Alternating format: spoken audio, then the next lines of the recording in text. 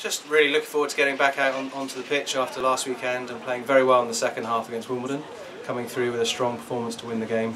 And uh, obviously the weekend before having a fantastic 8-1 victory against Loughborough. We're just trying to make sure we're consistent for 70 minutes and, and we think that the Cannock games can give us an ideal opportunity to, to try and improve on the past two weekends.